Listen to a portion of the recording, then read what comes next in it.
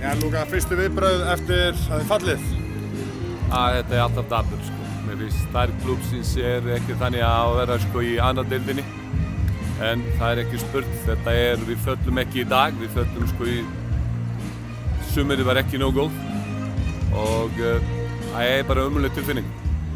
Uh, hvernig fannst þið svona leikurinn svona í heldinni?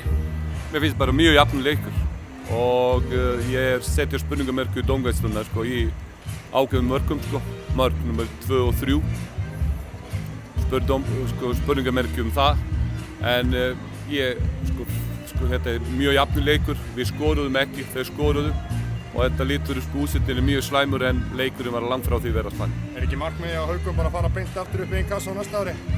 Já, við verðum endur skoða okkur sko alveg virkilega frá grunni hvað við ætlum að byggja upp. Við þurfum að búa til einhverju venju sem klubur mjög gefa sko einhverju stöðuleika en uh, ég, við verðum að setja, setja saman allir sem eru í haugum og, ræða þetta saman og sjá til hvað, hvað gerum við. En það er hellungu efni inn í félaginu, við erum að frábært annar flokk, frábært þriðja flokk og við erum að byggja í kringum þessi strákana sko. Ætlar þú eftir að segja raun og veru að liðið muni spila á yngri leikmannum á næsta ári að sé gefna borga þeim sem eru að spila í dag? Ég myndi segja það að minn skoðu fyrir íslensku knaspinu er að nota meira íslensku leikmenn. Það er minn skoðu.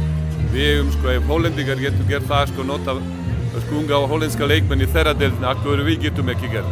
Og við hefum alveg nóg efnum sko í hautum til að getum byggja okkar, okkar strákanum.